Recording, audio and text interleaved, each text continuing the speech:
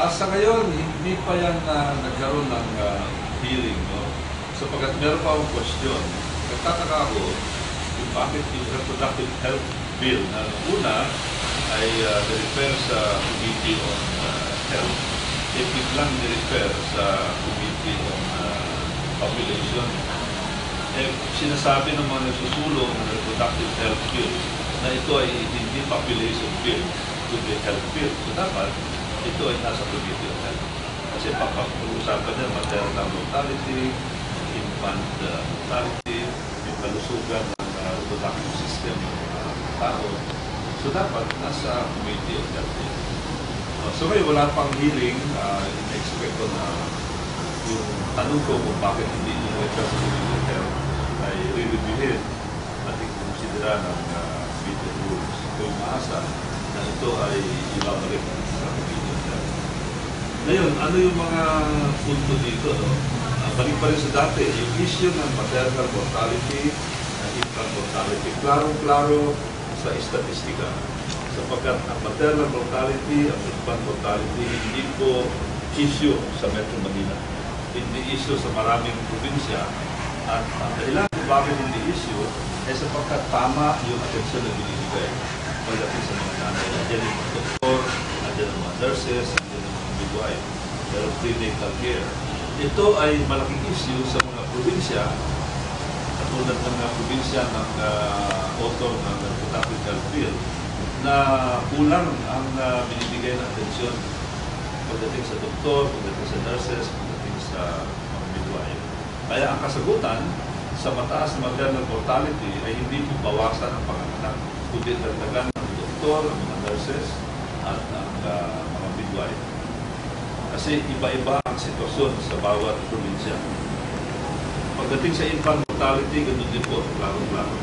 Kaya dapat dagdagan ng investment uh, ng Department of Health para sa maternal care, para sa infant care. Sa halip na basta tayo ng bilyon para pigilan ang panganganak, basta tayo ng bilyon para sa pondo, para sa contraceptive. Yung bilyon na yan ay dapat ilagay sa pagpapaayos ng antas ng ating mga ospital, mga clinic, mga barangay health centers, at magdagdag ng doktor, nurses, at mga midwives. Sir, who are the stakeholders in this? Ang stakeholders, eh, siyempre ang una-una, yung pamilya. Kasi andyan yung uh, desisyon nila na magkaroon ng anak o kaya hindi magkaroon ng uh, anak. Uh, andyan ang uh, desisyon nila na dapat uh, maalagaan gusto ang mga nagdadalang tao, mga mamamayan natin, pamilya, yung uh, bata. Uh, ma- mabigyan ng proteksyon yung uh, kabataan from the time uh, of conception, na tawag na born, hanggang sa ay uh, may panganak. Sir, yung RH ba, malaki ba yung chance niya na may pasok dito sa Congress mo? Ma- matinding debate yan. Maraming debate yan. Sapagkat uh, marami ang tumututol. Ang simbahan, maraming religious groups ay uh, tumututol dito. Kasi ito labag sa doktrina ng religion. Marami ng mga tutol dahil sa kalusugan din. Halimbawa, yung contraceptive. Maraming pag-aaral na ang mga contraceptives ay maaaring uh, maging dahilan ng uh, cancer, breast cancer, cervical cancer, even liver cancer.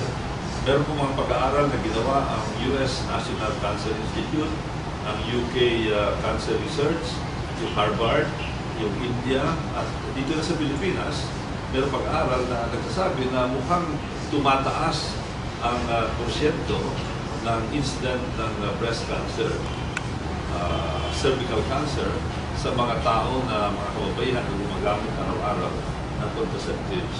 Ito ay dapat uh, mapag-aralan mo ito. Meron nga akong House Resolution na nagtatanong uh, kung meron bang uh, basihan itong ganitong klase ng mga pangamba ng marami. Kaya siyempre, kalusugan ng uh, mamamayan natin, ang kataya dito, dapat kinalalan mo ito. Uh, at hindi lamang yung commercial na, na dahilan ng mga contraceptives ang isusulong natin dito. Okay. Okay, sir, ano yung, if ever na hindi po yung isulong yung RH bill, ano kaya yung pwedeng alternative po na dapat gawin nila? And are you in, are for those, ano po, stand niyo po sa ngayon, Ah, ang tingin ko hindi na kailangan sapagkat sabi nila kailangan ng kondom, available ang kondom, wala naman. Ang sabi nila ang contraceptives ah, available din. Ah, ang kailangan lamang dyan, eh magkaroon ng warning, no? Ah, yung sabi ko, eh, those contraceptives, ang hingin mo, dapat magkaroon ng warning. Katulad ng warning sa mga ibang mga sustansya na maaaring magdulot ng komplikasyon sa ating uh, kalusugan. Ah, yung tinututulan lamang yung paglaan ng bilyong piso para sa contraceptives. Sasabi nila kailangan daw ng mahirap. At dahil yung mga mahirap, eh, kailangan ito. Hindi nila kaya bumili ng kondom, hindi nila kaya bumili ng contraceptives. Pero kailangan din nila ng edukasyon. Kailangan din nila ng ah, kalusugan. Kailangan nila ng trabaho. Kailangan nila ng magpapusay ng mga ospital. Bakit di natin ilagay doon? Kasi parang pinalalabas nung uh, mga nagsusulong ng RH na ang dahilan ng ating economic problem ay mga mahihirap na maraming anak. Hindi po. Kung titingnan nyo, ang ah, nagpapalakas sa ating ekonomiya ngayon, yung mga pamilyang galing sa mahirap, ano ang pinakamalaking sektor ng ekonomiya natin yun? Yung OFW sector, isipin nyo mga 1.5 uh, billion dollars a month ang uh, inward remittance ng mga OFWs. Mga 18 billion dollars a year, the single biggest economic component, yung mga OFW, karamihan yan galing sa mga mahihirap. Karamihan yan galing sa mga pamilya na maraming anak. Sila ngayon ang uh, nagpapalakas sa ating ekonomiya. Eh bakit natin sisisihin yung mga mahirap sa ating economic uh, problem? Yung mga bata, yan yung mga asset. Kailangan nila edukasyon. Hindi kailangan pigilan sila na isilang sa mundo ito. Habang lumalakas ang ating populasyon, katulad na sa India ngayon.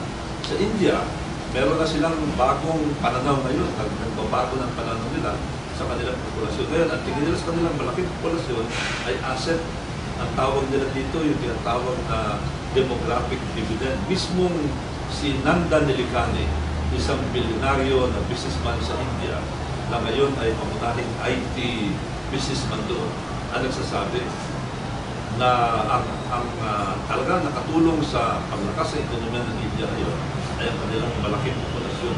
Ang kailangan lamang, pag meron ka malaking populasyon, bigyan mo sila ng magandang edukasyon at tulungan mo na maging malusog sila. Doon dapat ilagay ang uh, pondo ng bayan. At uh, pag sila ay mapag-aaral, magkaroon ng training, yung malakas ang katawan, lahat sila ay magiging asset sa ating uh.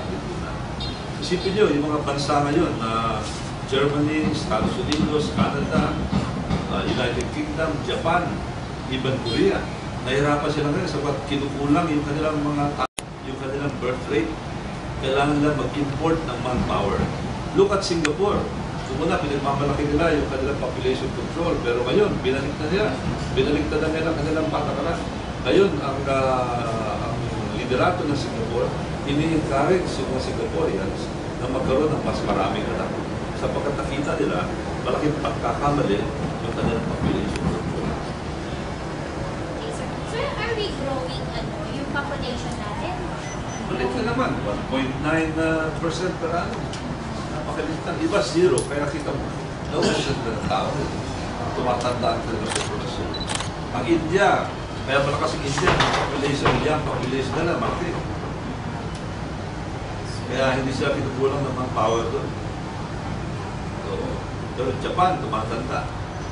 Yung population pa ba natin, nagpo-cause po ba ng poverty, ganyan? Ma- Pwede Kung siyang hindi mo pag-aralin ng bata, Oo. siyempre maghihirap yun. Kahit na may ama naman, pag hindi mo pag-aral, maghihirap din yan. Oo. Di ba? Ako sa tao, pag hindi mo pinag-aral, hindi mo tinulungan yung pag-aaral niya, maghihirap siya. So parang, parang gusto niyo po yan mo na Kasi sabi ko, education. education, doon mo ilagay, education, health niya.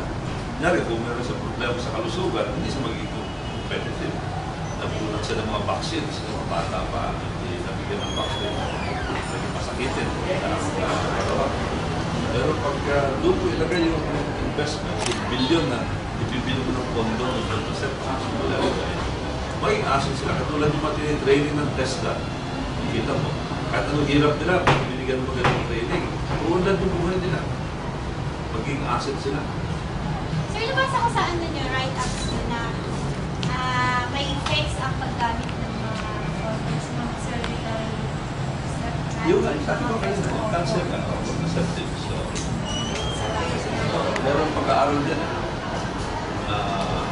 cause uh, cancer. Bigyan kita ng kopya. So, bigyan ko sa email mo, pa-email ko kayo. Ay, sige sir, sige sir. Para, Pa-email ko sila. may, may copy rin po RH